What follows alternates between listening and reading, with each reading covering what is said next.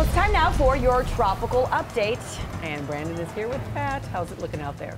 Well, we got a couple of things we're watching, but we just got the new numbers in from NOAA for their latest hurricane season forecast. They're calling for 15 to 21 named storms. That does include the five named storms that we've had recently already. Seven to 10 of which becoming hurricanes, and three to five category three or higher. That would be major hurricanes. Compare that to their previous forecast that they put out in May, and it is very similar, which means they're just keeping it going. They're right on target. Water out into the Atlantic in terms of its temperature isn't as warm as what it was during that record setting season last year but everything else seems to be in place. So uh, it looks like we're going to have an above average season. Chances are leaning that way, anyways. Already watching two things out there now that we're getting into August.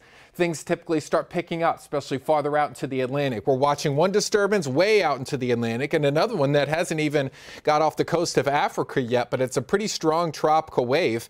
And it does have a 30% chance of developing. It's kind of in between burst of Saharan dust. So it does have some moisture to take advantage. It's going to be a long time that we're watching that one, so I'm not too concerned about it now.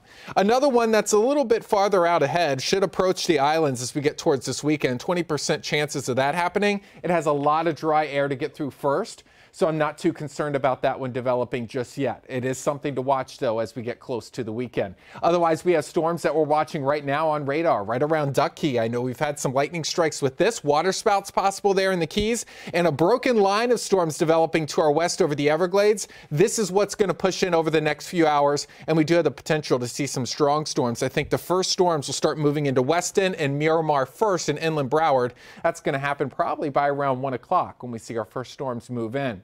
So it could be a little rough at times this afternoon. Some of these could be strong.